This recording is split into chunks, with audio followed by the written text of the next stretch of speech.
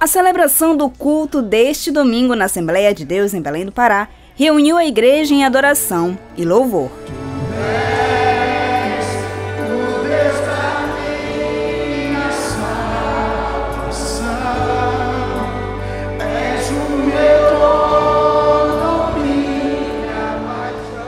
A mensagem da noite ficou com a pastora Rebeca Câmara, que falou sobre filhos pródigos. O pai o abraçou Falou: tragam a capa, tragam o anel, tragam a sandália, façam a festa, tragam o cabrito cevado, vamos fazer um churrasco, porque o meu filho voltou, ele estava perdido, foi encontrado, ele estava morto, mas ele reviveu.